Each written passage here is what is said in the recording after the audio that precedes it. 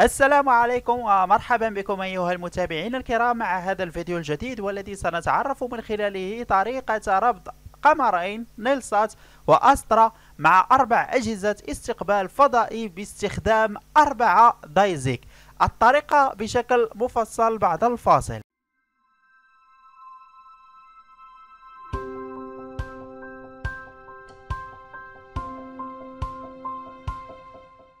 إذا إخوانا الأكارم أول عملية وجب القيام بها وهو تثبيت طبق على قمر الأسترا وطبق على قمر النايلسات سأترك لكم روابط عملية تثبيت هذه الأقمار على آه، أطباق ثابتة. ستقول لي لماذا لا نعمل مسطرة؟ نعم يمكن عمل المسطرة على طبق واحد كبير ولكن ستعاني من مشكل ضعف إشارة لدى مجموعة من الأقمار خصوصا أننا سنقوم باستقبالها آه، من خلال أربع أجهزة استقبال فضائي وبالتالي يجب علي أن أخصص لكل قمر طبق لكي أحصل على كامل الإشارة في جميع الأجهزة المتصلة باللواقط أنا أحضرت أربعة دايزيك سويتش 2.0 والتي تمكنني من ربط أربع أقمار على أربع أجهزة استقبال فضائي. لكن في الحالة التي أنا بها الآن أتوفر فقط على آه، طبقين.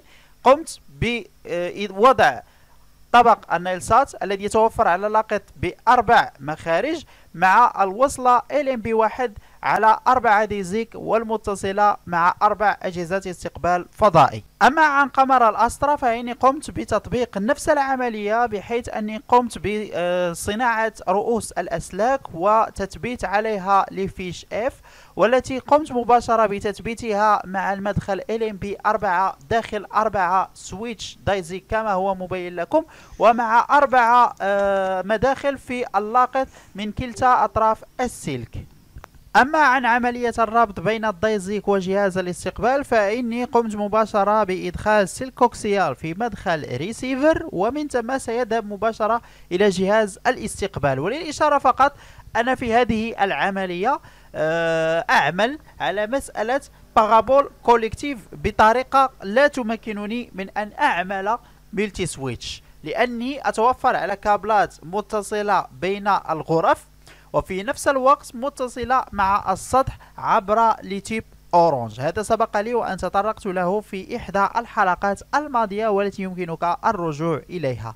أما عن مسألة ضبط ال DiSEqC فهي طبيعة الحال سهلة للغاية. كل ما عليك وهو تذكر ترتيب الأقمار حسب عدد المداخل. كان نايلسات وأسترا قلت لكم LNB 1 و LNB 4 ثم نقوم بالدخول مباشرة إلى جهاز الاستقبال ونقوم بتشخيص قمر النايلسات ونقوم بجعل DiSEqC 1.0 على حرف A أو واحد. والأسترا مباشرة ستجعله طبيعة الحال عند تفعيلك لخاصية ال DiSEqC 1.0 ستجعله طبيعة الحال في 4 أو C حسب الترتيب الذي قمت به طبيعة الحال وعلى حسب عدد الأقمار التي تتوفر عليها في ال DiSEqC أرجو من الله أن أكون قد وفقت في هذا الفيديو وفي هذا الشرح الذي تعلمنا وتعرفنا من خلاله طريقة ربط أربع أجهزة استقبال فضائي مع أربع DiSEqC مباشرة مع قمرين في نفس الآن. أرجو أن أكون قد وفقت في هذا الفيديو في هذه الحلقة. إذا أعجبتك لا تنسى بالتشريف بزر like subscribe للقناة إذا كانت هذه أول زيارة لك وتعليق تحفيزي للتحفيز وأيضا طرح أسئلة وأيضا ملاحظات.